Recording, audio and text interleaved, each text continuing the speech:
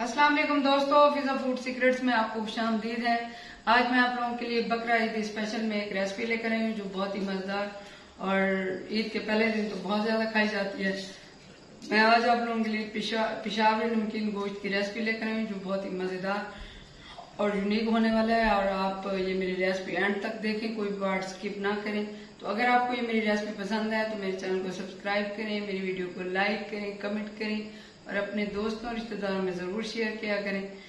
और जो है बेल आइकॉन प्रेस करना ना भूलें ताकि मेरी हर आने वाली नई वीडियो आप लोगों के पास पहले पहुँचे और आ, तो आइए हम जो है ये रेसिपी स्टार्ट करते हैं।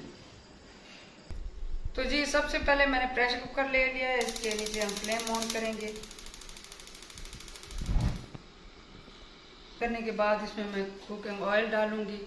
आप इसमें जो मर्ज़ी घी डालें ऑयल डालें। ये जैसे आपको दिल करे, मैं थोड़ा सा इसमें आधा चम्मच बड़ा जो होता है, उसके बराबर मैंने ऑयल डाल दिया है। ये मैंने बीफ लिया है, हम बीफ में बना रहे हैं तो ये बीफ हाफ़ के जी के बराबर बीफ है तो इसमें मैं ये डाल दूँगी। और साथ ही ये मैं अदरक लहसुन का पेस्ट जो एक चम्मच है, ये एक चम्मच अदरक लहसुन का पेस्ट है, ये मैं इसमें ये डाल दूँगी और इसको मैं अच्छे से भून लूँगी। ये हम हाफ़ हाफ़ किलो की रेसिपी बना रहे हैं। अगर आप ज़्यादा या कम बना रहे हैं तो उसी हिसाब से मसाले डालें। तो ये मैं आपको हाफ़ किलो है ये बीफ और उसी हिसाब से मैं आपको ये बता रही हूँ।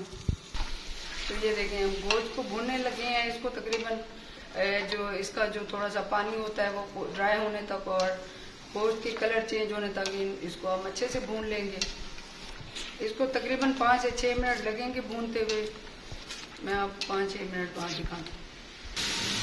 ये देखें गोश्त हमारा भून रहा है अभी इसको ये देखें, चार मिनट हुए हैं भूनते हुए। अभी इसको दो तीन मिनट और भूनेंगे, फिर मैं आपको दिखाती हूँ।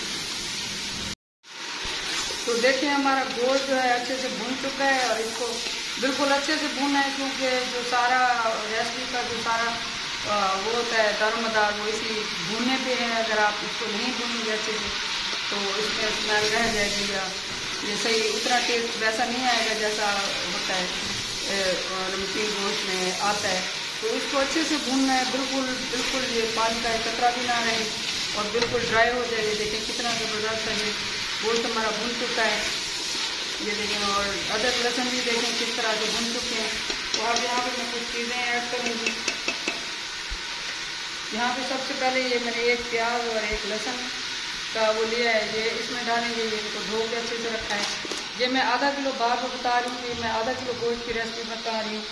आप अगर ज़्यादा क्वांटिटी में बना रही हैं तो फिर ज़्यादा उसमें डालें। तो ये सब मिर्चें क्योंकि आधा किलो है तो ये मैं कम डालूँगी। और ये टमाटर का छिलका उतार के ये देखें इस तरीके से। ये इसका सारा छिलका उतरा हुआ है और इस तरीके से ये भी इसको इसमें डाल दूँगी।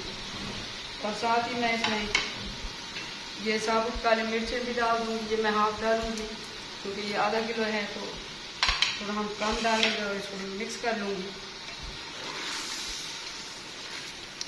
तो ये रेसिपी बहुत मज़े की होने वाली है, आप इसको एंड तक ज़रूर देखें और इनशाला आप ईद पे अगर ये बनाएँगे तो फिर आप लोग घर वालों को और आपको बहुत मज़ा देगी और यहाँ पे मैं इसमें पानी ऐड करूँगी। क्योंकि मैं प्रेशर कुकर में बना रही हूँ तो पानी में थोड़ा कम ऐड करूँगी, ये देखिए। ये एक किलो के बराबर ये मैंने पानी डाल दिया है। इसको मैं प्रेशर दे के और इसको मैं तकरीबन 15 मिनट के लिए मीडियम फ्लेम पे मैं इसको पका लूँगी तो यहाँ पे हाफ़ टी स्पून के बराबर मैं इसमें नमक भी ऐड कर दूँगी और इसको मैं ढक के 15 मिनट के लिए प्रेशर दे दूँगी 15 मिनट बाद मिलते हैं।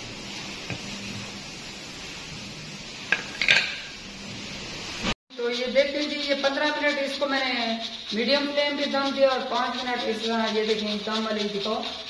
ये इस तरह दम वाली फ्लेम पे मैंने पाँच मिनट इसको इस पे ये प्रेशर दिया तो मैं फ्लेम इसकी ऑफ़ कर दूँगी और इसको हम थोड़ा सा ऐसे टेढ़ा करके थोड़ा सा गैस निकालेंगे।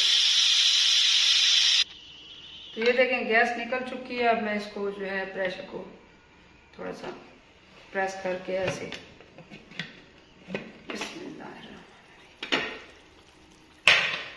तो ये देखें, वाह ज़बरदस्त, ये देखें, क्या कलर आया है और कितना ज़बरदस्त सा ये हमारा गोश्त ये तैयार है। अब मैं इसकी फ्लेम ऑन करूँगी और इसको थोड़ा सा भून लेंगे। ये देखें, इसकी लुक देखेंगे कितनी ज़बरदस्त है। खाने की लुक अच्छी हो तो फिर जो है खाने में भी मज़ा आता है और इसको मैं थोड़ा सा भून लूँगी।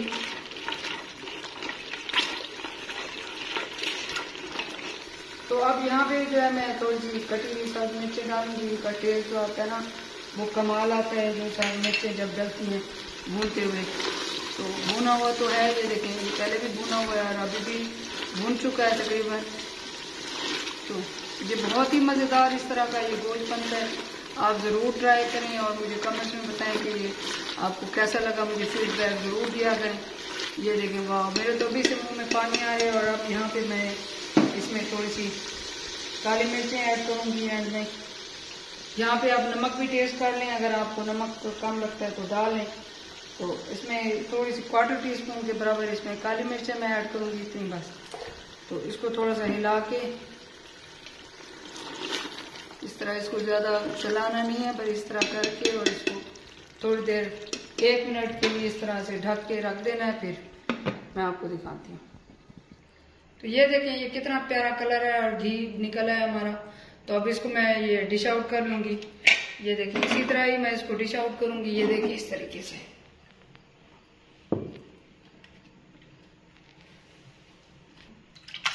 ये देखें वाह इस तरीके से ही मैं इसको डिश आउट कर लूँगी और ये जो मसाला है, मैं सारा निकाल लूँगी। तो ये देखें जी, हमारा जो है ये, नमकीन, कश्मीर, पिशावरी सॉरी पिशावरी नमकीन गोश्त तैयार है।